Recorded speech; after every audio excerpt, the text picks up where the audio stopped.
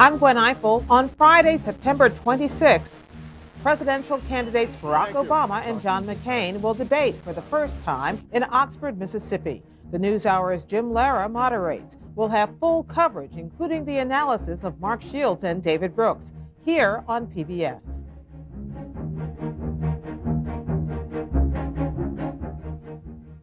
Barack Obama wants to debate, and the Commission on Presidential Debates is planning to move forward as scheduled. Germany right now to talk about the debates. Should they occur? Two strategists who have prepared candidates for debates our own Jenny Backus, and who's a Democratic strategist, who's the network TV debate coordinator, and Mike Paul is currently a public relations consultant who has worked for Republicans Al D'Amato and Rudy Giuliani. Well, you got a couple of fighters in your corner. What a corner! Do you have a towel over your shoulder, uh, Mike? Do you uh, when you uh, a bucket? Is that how you do it? And they're in the corner with these guys. I brought the gloves for you, Chris. We got the gloves. What are you talking about? We oh take my them out. God! You oh oh God! Uh, prop man.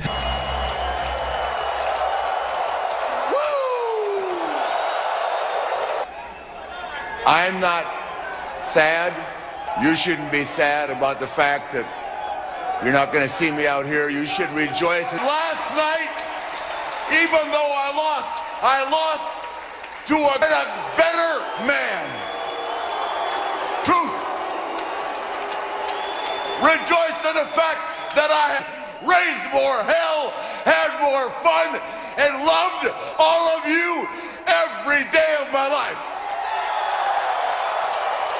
I swear to God.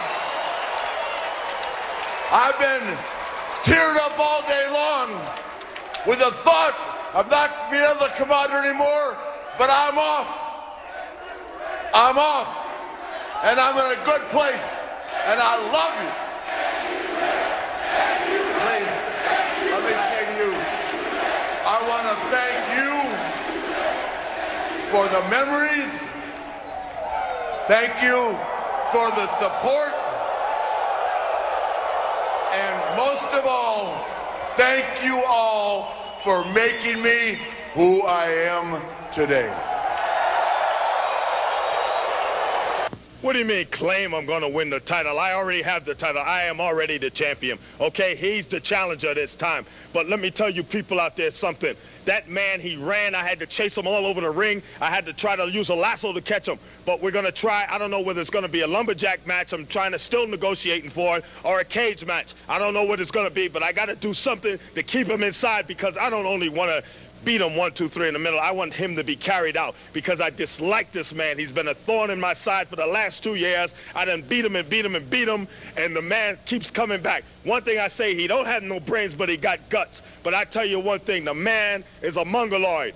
He's a mongoloid. But I guarantee you, this time when I get you in that ring, kid, I'm gonna be on you like white on rice, like a collar on a dog, like ham on a country hog. And I guarantee you one thing, the great warlord here, he's going to be in my corner giving me advice. And he told me one thing. He said, just have him carried out the ring, but make sure you don't kill him or cripple him too bad because we always got a job for him at our gym cleaning up or cutting the lawn or putting out the garbage. We always got a job. We're, we got humanity here. So we want you, people to know out there that we're not just mis- vicious, mean, cruel people, that we take care of the ones that we're going to Fans, take care of. we'll see all Let of you in. Victoria What are you talking about?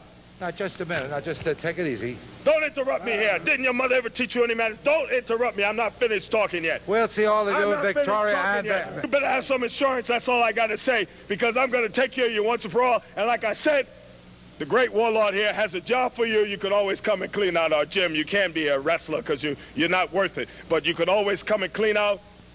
Fans, we'll see all of you there for that great championship match. Be there.